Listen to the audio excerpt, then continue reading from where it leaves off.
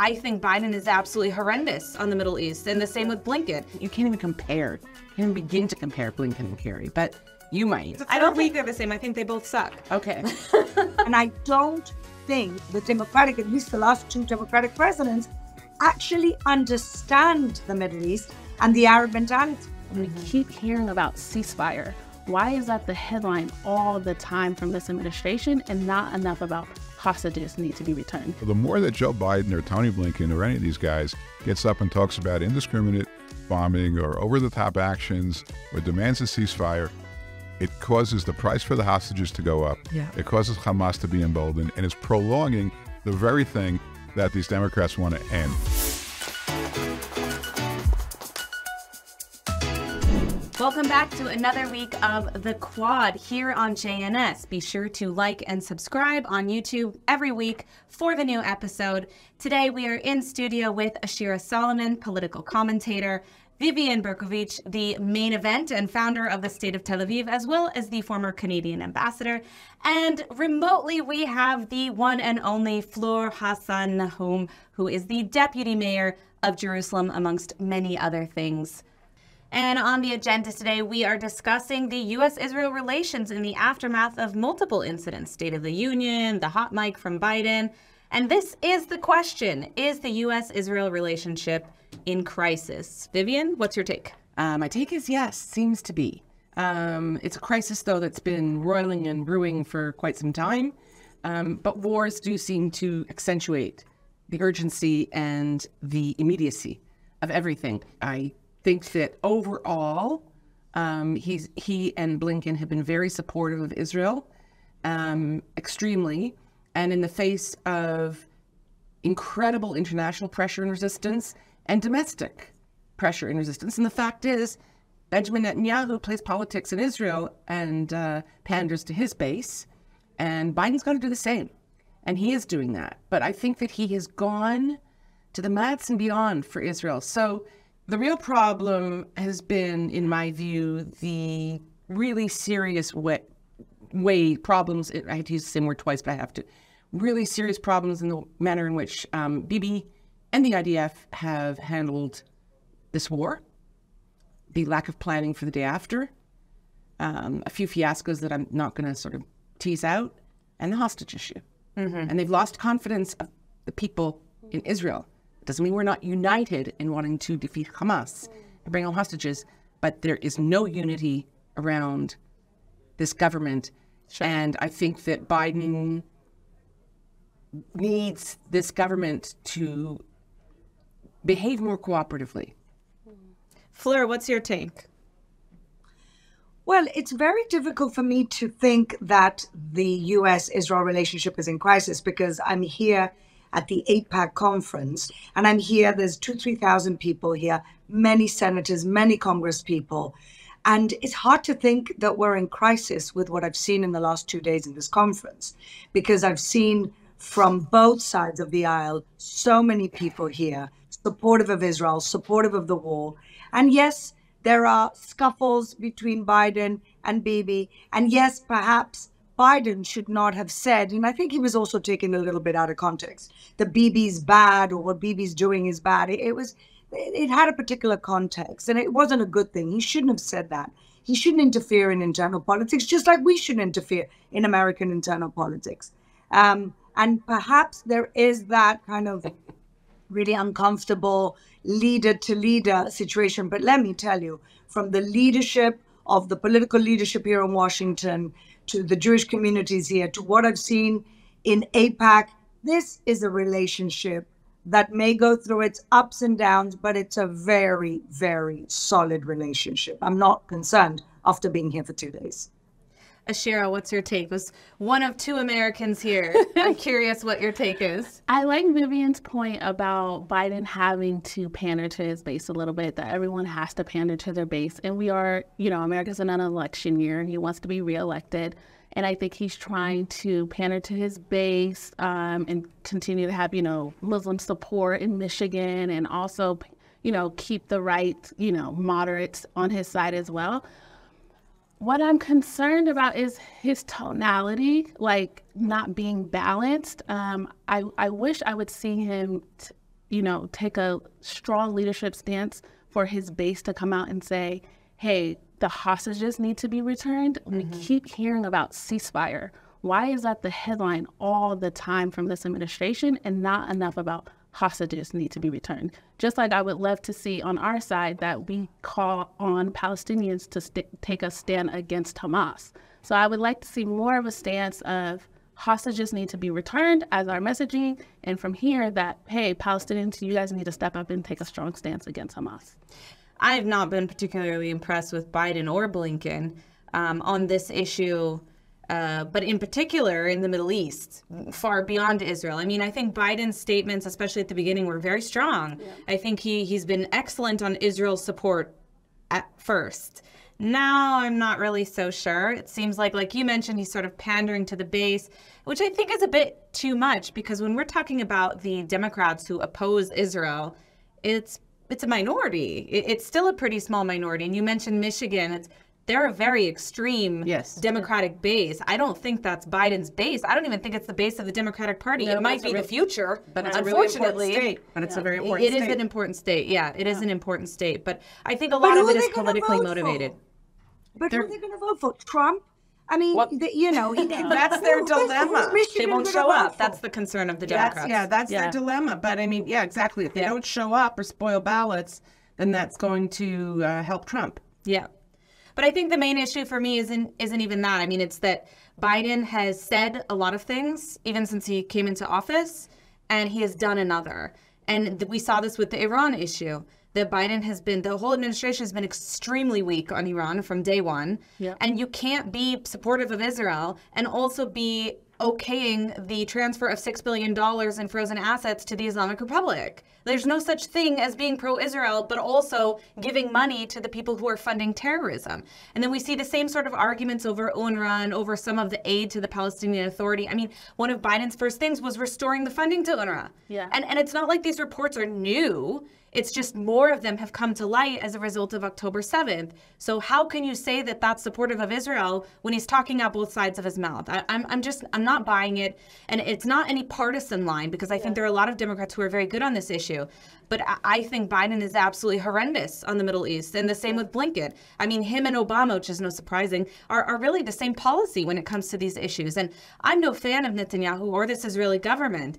But that doesn't change the fact that I think that Biden is a weak leader who has enabled the Islamic Republic to expand their capabilities. I don't think that we would have seen the same actions that we saw uh, if Trump was president, and I'm no fan of Trump either. Right. But but Biden is a weak president on foreign policy, and and that costs lives. And and that's my concern here. It's not just about Israel. It's it's about the wider issue beyond just the U.S. Israel relationship. I think. I would say, I, I wanted to say that I think that I'm not sure it's about Biden being weak. It's just that the Democratic Party have a very unrealistic view of the Middle East in general. So we saw this with Obama, and we're seeing this with Biden. They look at the Middle East through their liberal lenses, and they don't understand that we're living in the roughest neighborhood in the world. And they also don't understand that in the Arab world, might is right and it's the mm-hmm. strength you project and the more strong you are the bigger stance you take the more the arab world will actually respect you saudi arabia wants to make peace with israel or wanted to make peace with israel because we're perceived or were perceived as strong. That's why the uae and that's why bahrain wanted peace with israel. They don't make peace with with us from a point that we're weak. And i don't think the Democratic in general, the Democratic, at least the last two Democratic presidents, actually understand the Middle East and the Arab mentality. All right, I got to jump in and, you know, play diplomat. Um, so, one point I want to make just very quickly is that I think that your relationship can be in a crisis and it can still have strong fundamentals, right? Marriages pass through that kind of thing, right? Every kind of relationship. And that's the same with state to state. I know that when I was in office in 2014, and uh, that was the war with Gaza, and things were very, very, very testy between uh, Obama and Bibi at the time.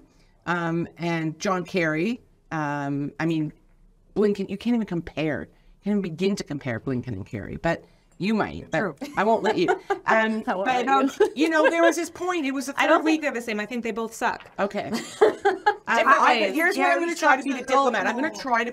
I'm going to try and Fleur. I hear you. You're absolutely. You're all right. I love everybody, but I mean, Yes. these guys have to make something work in this impossible environment, the diplomatic environment, the global environment. I happen to think that in the context of the current global environment, they've stood by Israel in the UN. They've vetoed um, a lot of um, bad things in the Security Council. They have kept the aid coming. They have taken, they have expedited aid. And this was the point I was going to make in 2014, the summer of 2014, when Israel was down to really its last batteries for the Iron Dome and desperately, desperately needed them. And that's when, you know, John Kerry and uh, Obama started flexing their biceps and wagging their finger and and withheld. They said we're withholding. It was all theater, of course. And this goes to the point that we're all making, which is the strength of the underlying relationship, because the strength between the IDF and the Pentagon, the strength of that relationship, no matter who's in office, it's on its Yeah. own. It's on its own momentum. It's on its own track. Yeah. Yeah. And they just, the Pentagon made sure Israel had what it needed, and Obama was, you know, saying all these, you know, inappropriate things.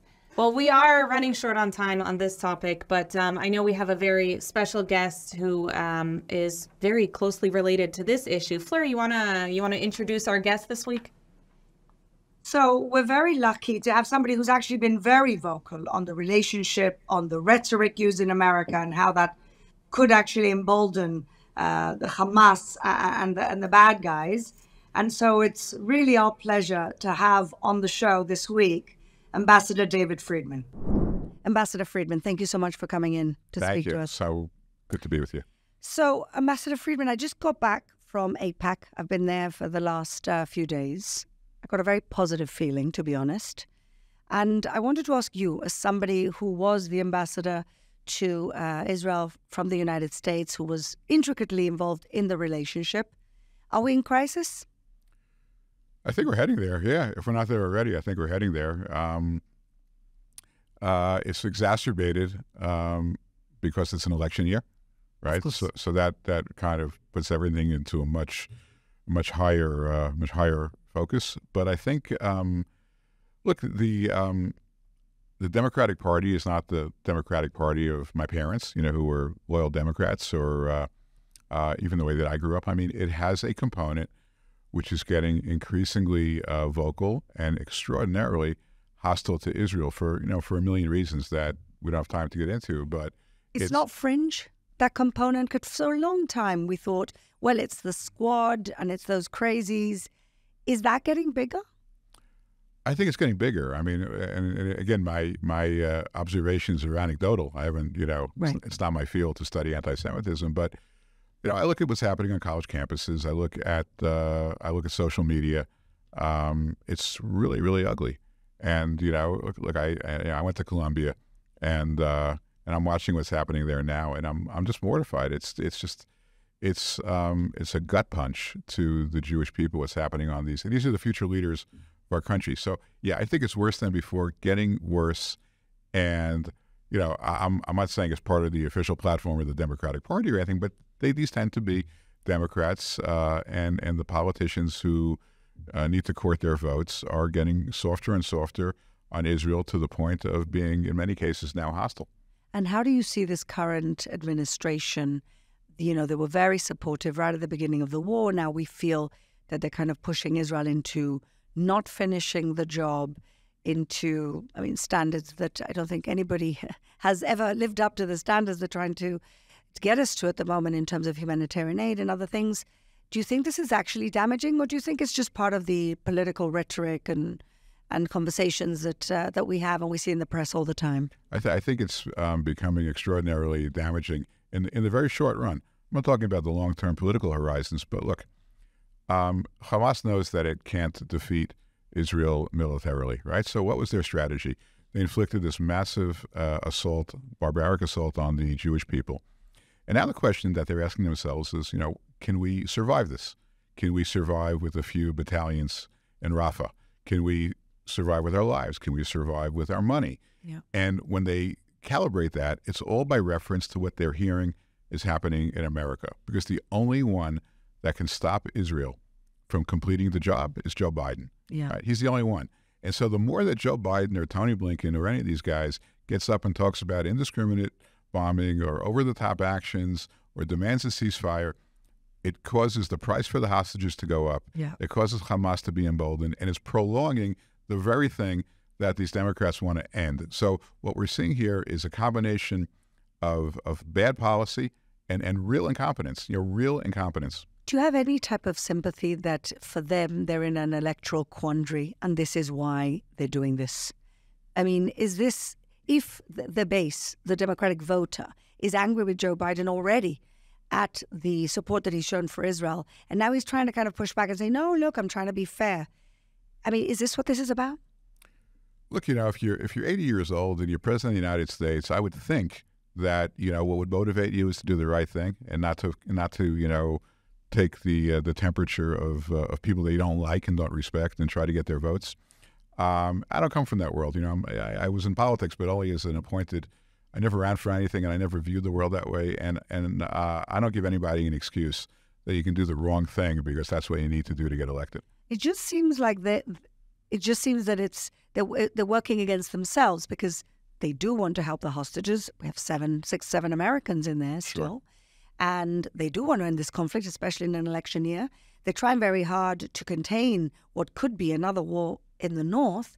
And yet, like you say, the price keeps going up the more they're pressurizing Israel Mm-hmm. publicly. Right. I mean, privately, they could always pressurize Israel.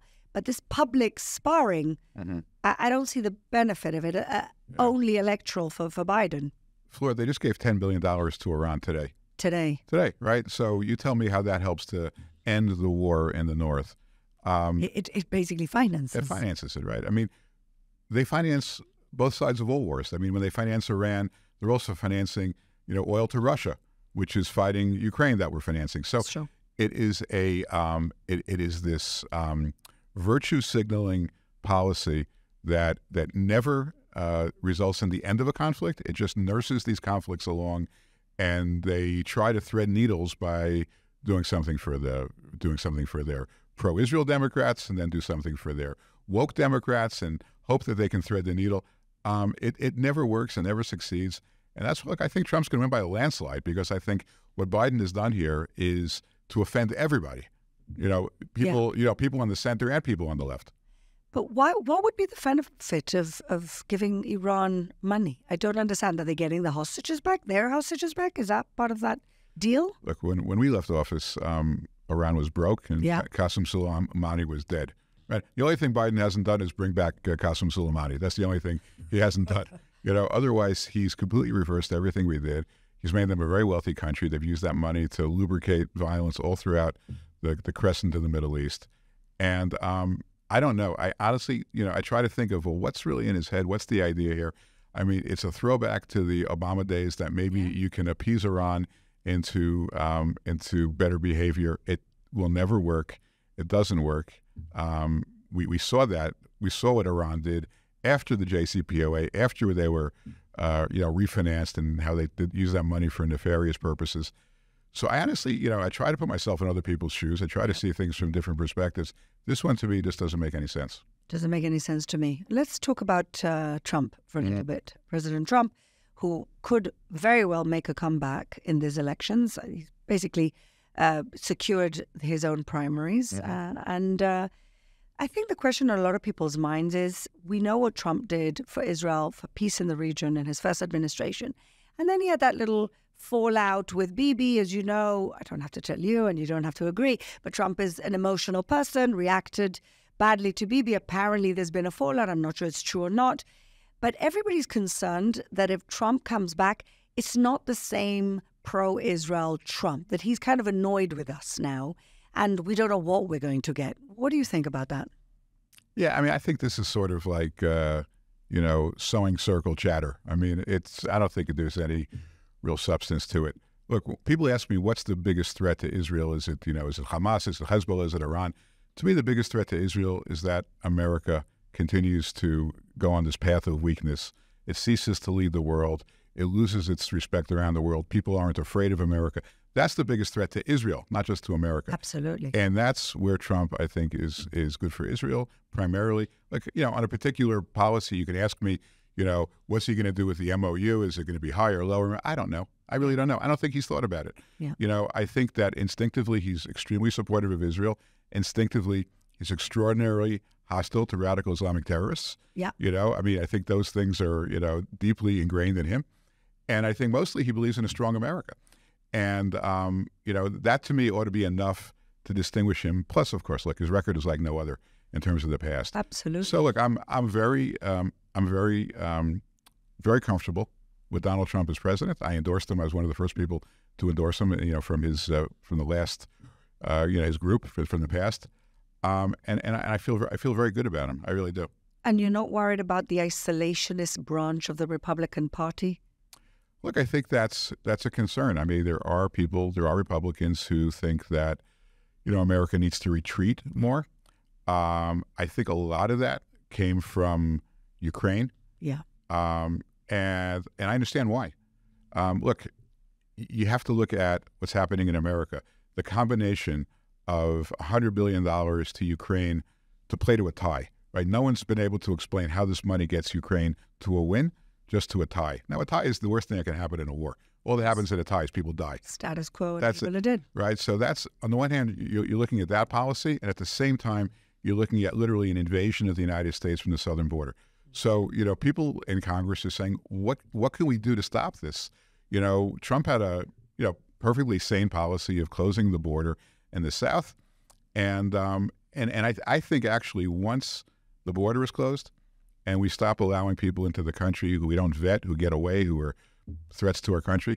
Once we stop that, I think it will open up some of the isolationists. There'll always be a few people, you know, who uh, Republicans have always had that Yeah. small strength. It's about But- resources, you're saying. But but yes, but with the with the incredible uh, ig- ignoring the southern problem, the southern border, it is very hard to get anybody to write a check to help another country defend its border when we're not defending our border. That's an interesting insight. Thank you so much for all the work that you've done, and thank you for this wonderful conversation. Thank you, Flora. Thank you. Pleasure. And now for our favorite segment of the quad scumbags and heroes. And to kick things off, I think we actually have a shared scumbag of the week this week. Um, Jonathan Glazer. Jonathan Glazer from the Oscars. I think we have a clip of, of some of his comments. Our film shows where dehumanization leads at its worst. It shaped all of our past and present.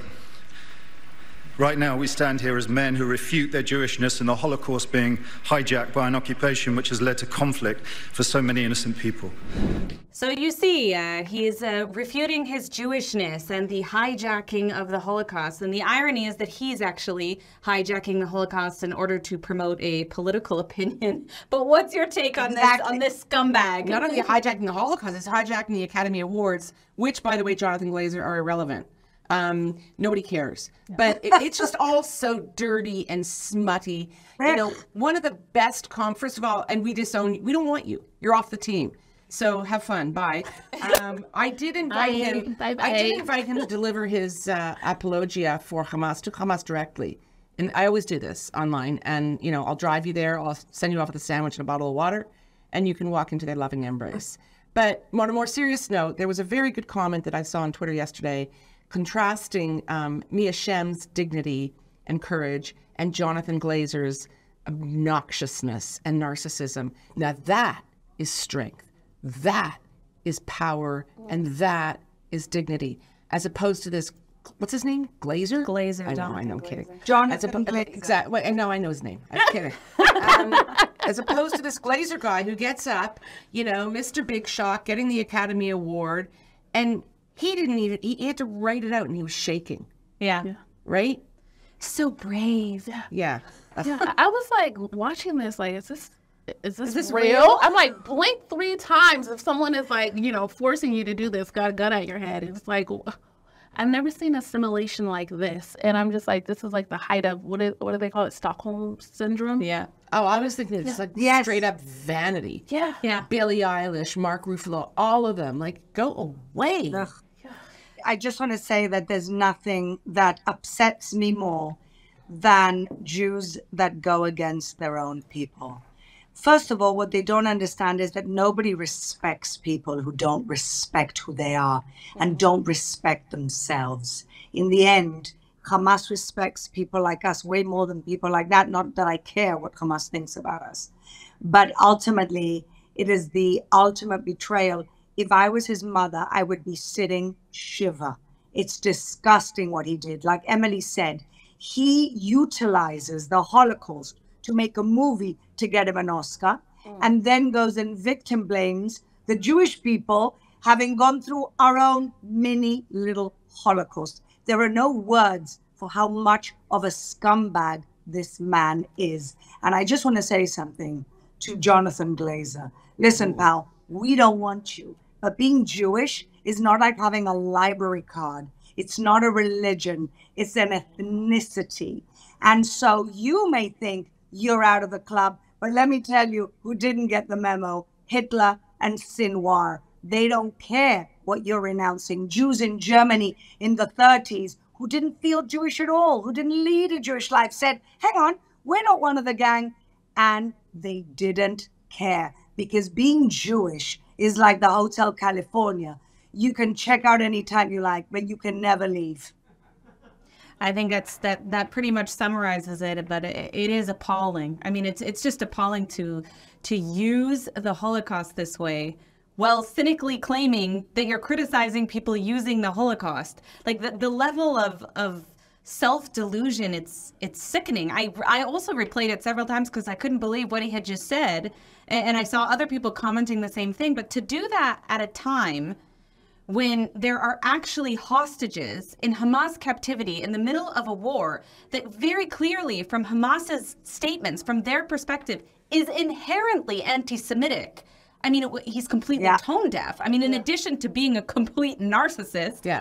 it's it's just it's unbelievably tone deaf. Even if those are your politics, I mean, there's no shortage of people who oppose occupation and oppose, uh, you know, a right wing government in Israel, and you don't see them going around talking that way. It's it's it's it's inexcusable. So I have to say, like, um, you know, what Jonathan Glazer is, um, uh, is he's the Germans who went into the gas chambers, still wearing their iron Yeah. crosses from World War One, and still actually believing that was going to save them, right up until the last minute. Yeah. Um, and Jonathan Glazer, I did say, I think one of my social media platforms, they're coming for you first, buddy.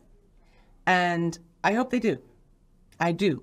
And, um, or alternatively, he can accept my very gracious offer to drive him to the border and send him off. I'm sure they're Not welcome. one of Welcome. these, Yeah. not one of these people, Jewish or not Jewish, goes to Hamas.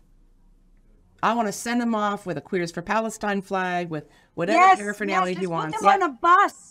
Could we make a bus? We'll see them Chris off. Palestine? Okay. All the as. We could do this all day. We'll see you when Yeah, you get yeah. back, but All you're right. not I know back. we have a couple more scumbags, uh, so we'll go through them very. There's so many, there's no shortage of scumbags. It's a big scu- it's a scummy It's a, week. sc- Yeah, yeah, yeah. scummy week, absolutely. So you had someone else you wanted to highlight this week. Yes, I want to put a highlight on Nigeria, but more specifically, John Momoh. He is the CEO of the premier um, news network in Nigeria called Channels. He platformed Ghazi Hamad. Ghazi Hamad Hania went to uh, the Nigerian government, met with officials. He, they were supposed to meet with the vice president of Nigeria, but they had pushback from Christian organizations and the public. Um, but essentially, Ghazi went on and said, We're here because we want uh, the Nigerian government to support us. We want them to support Palestine. And the Nigerian government turned around and said, You know, we call for a ceasefire.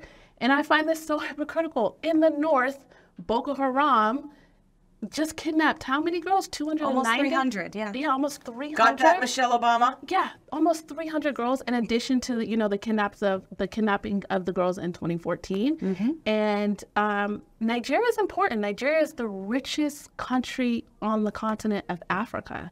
This is insane that the government is coming out in support of Hamas. Especially when they're dealing with a terrorist organization, so it's not like they're unfamiliar. But yeah, very familiar. So that is my scumbag for this week. Fleur, who did you wanna who did you wanna add to our scumbags? No, I think we've said it all, uh, and I'm really happy to keep uh, that glaze. Jonathan Glazer. Vivian, you had one. Yeah, were you up all night really thinking about Jonathan Glazer? um, sorry for that. Uh, yeah, I, I have a I have a, a twin twin. I have uh, Queen Rania, Queen Rania, Oh. of Jordan, and um, who has felt compelled uh, yesterday, I think, to say that you know, like basically, shut up already, Israel. So you had like one bad day. Um, you know, it's been going on for months in Jordan. In Jordan, sorry, um, been going on for months in uh, the Gaza Strip. Um, so like enough, you know, like the old kind of Jew victims. Israel experienced one October 7th. Since then, the Palestinians have experienced 156 October 7th. You know, they have been going through this every day. And prior to October 7th, they have uh, been living in a 50 years of oppression, of occupation, of having their movement rest- restricted, having every aspect of their lives dominated, uh, being humiliated. She doesn't know this, but she has a twin. Um, in Justin Trudeau, ring the bell. In Justin Trudeau's uh, caucus in the government in Canada, I need that bell. Um, for anyone new watching the the show, I mention Justin Trudeau every episode because he's so special. Anyhow, her name is Jenica Atwin. She is a member of parliament representing Fredericton, sorry, which is place in the east of Canada. And um, she said the same thing. And in fact, one of her constituents wrote to her about um, violence and uh, vandalizing of uh, synagogue. And she wrote back and basically said, you know, WTF, like, look what you Jews are doing. Like, I can't believe you're complaining. You know, you've been doing this for months and you're complaining about this. Like, you know, you should be thinking of the people in Palestine. So, Rania, Jenica, you're the best scumbags of the week. Okay, heroes.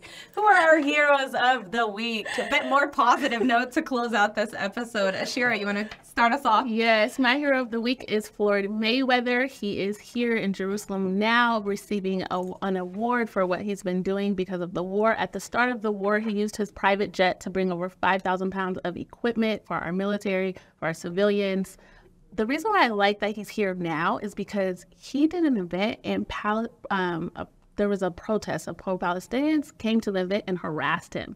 And so now him coming back to me is showing like a stance of like, yeah, you guys harassed me, you you know, you stood out at my event, you yelled in my face, you know, called me all kinds of N-words, et cetera, et cetera.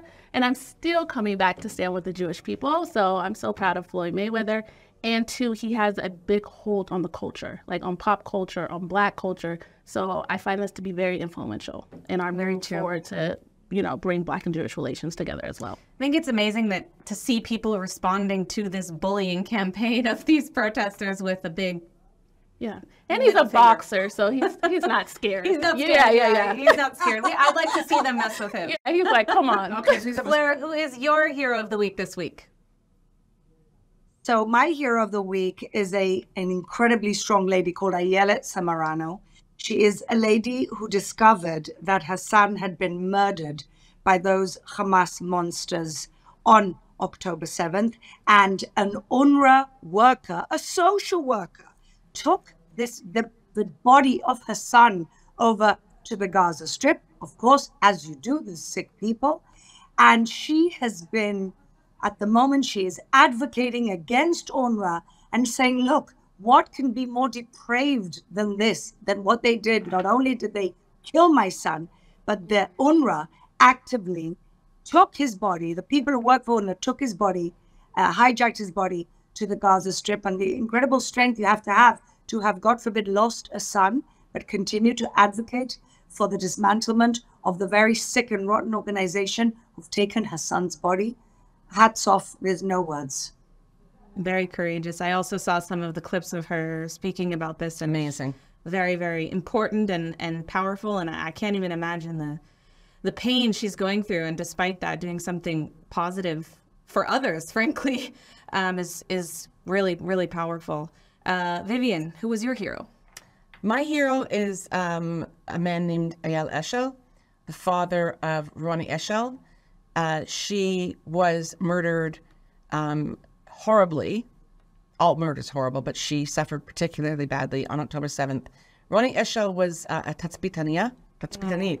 Uh, one what we, yeah, at uh, Nachal Oz, which was um, a base in the south, Yeah. an IDF base. She was a scout. Her job was to sit there and look at these computer screens all day long. Um, women are always uh, in this role in the IDF because they say uh, that women have much greater attention to detail and they notice every little thing. Um, but what we also now know is that women are ignored.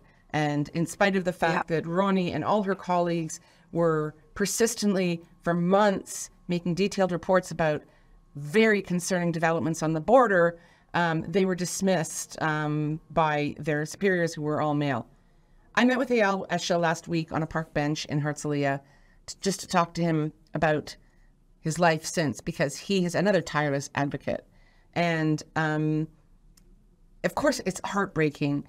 He has two other children. She was the eldest.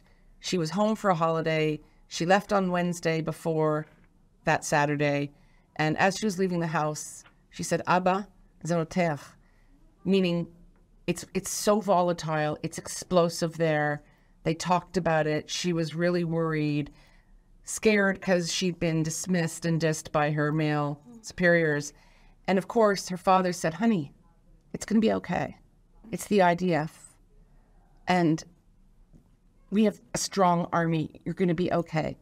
And she went down and she picked up and Sderot the new recruits, Naama Levy, and a few others who were just starting that weekend. It was their first weekend on base after some training.